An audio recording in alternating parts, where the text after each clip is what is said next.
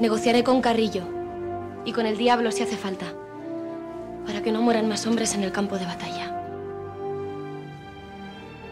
Pero no seré débil como mi hermano Enrique. Si quieren guerra, la tendrán. Porque todos en este reino tienen que tener algo muy claro. Que yo, Isabel, soy la reina de Castilla. Y solo Dios podrá apartarme de este trono.